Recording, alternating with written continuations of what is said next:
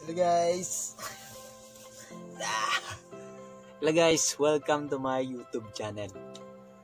Ngayon guys, ang pag-uusapan natin kung ano ang gamit ng headset sa ating cellphone.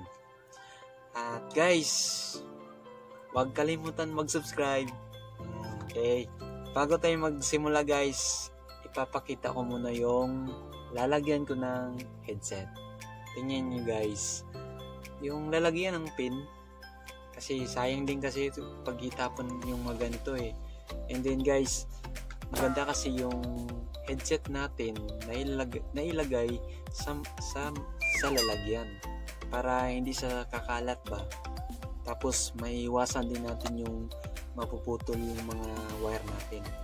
Okay guys, ang isi-share ko sa inyo ay eh, may pitong klase akong paraan na paggamit ng headset. Ginagamit natin yung headset sa music.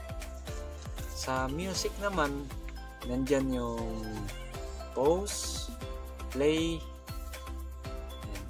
next, ginagamit din natin sa movie. Sa movie naman, andyan yung play, pause, okay? Next is yung pag-control ng volume. At minsan din kasi guys, yung headset natin iba-iba kasi. May isang button tapos may tatlong button yun siya.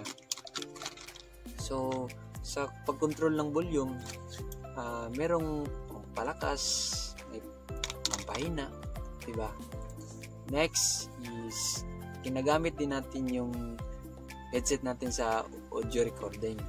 Sa audio recording naman andyan yung start pause Then next is video recording.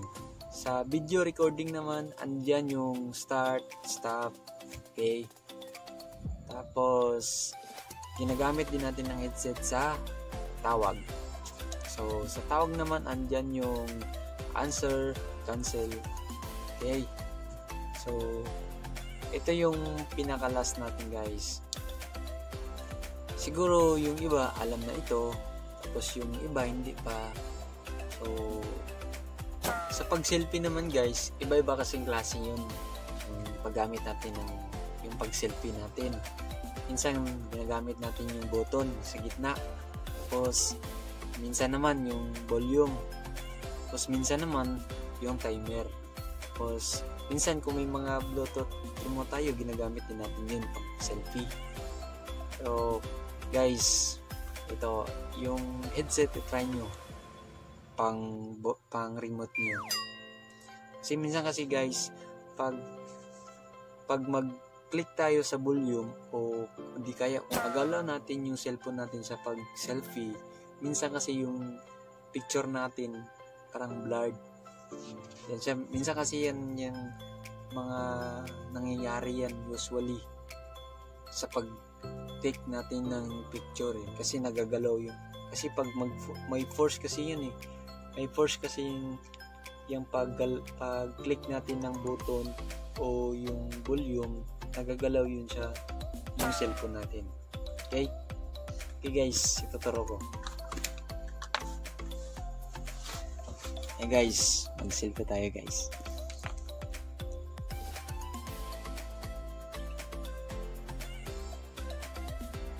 Yan. Sila saksak ko. Tapos, yan guys. Smile ka. Dapat yung magandang smile mo. okay. Smile ah. okay. One, two. Ayan guys. Ginamit ko. Click ulit. Yan. Okay. Yun yung mga pitong klaseng mga gamit ng ating headset sa ating cellphone. At guys, bago ang lahat, mag-iwan ako ng verses. Mark 12 verse 30. Love the Lord your God with all your heart and with all your soul and with all your mind and with all your strength. And thank you for watching and to God be all the glory.